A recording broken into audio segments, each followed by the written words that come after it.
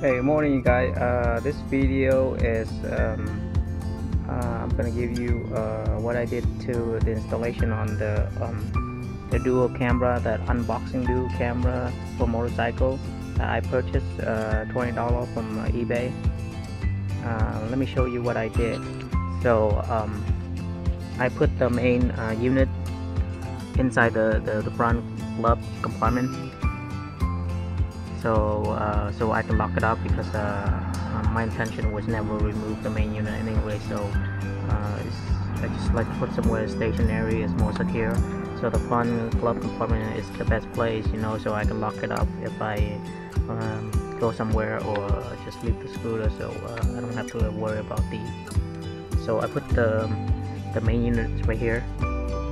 And then um, what I did with the rear camera is uh, I put it under the um, the backlight. So the rear camera is right here. So I routed all the way to the front to hook it up to the main unit. And I also did the, the front camera is right um, under the front bumper uh, right here. Uh, the reason I didn't put it right in the middle of the front bumper because uh, the distance from the wheel to the front bumper is so short.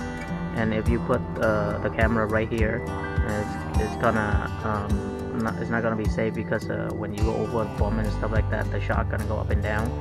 And then the wheel is gonna hit the camera. So there's not enough room uh, right here for it.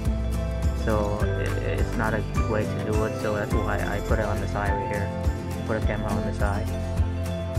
And camera side uh, worked pretty well.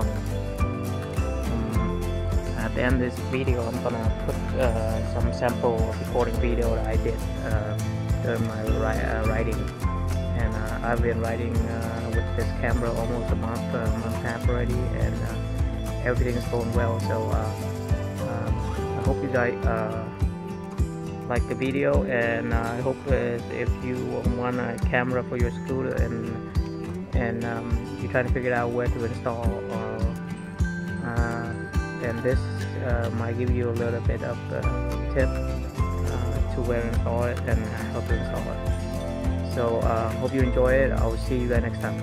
Okay bye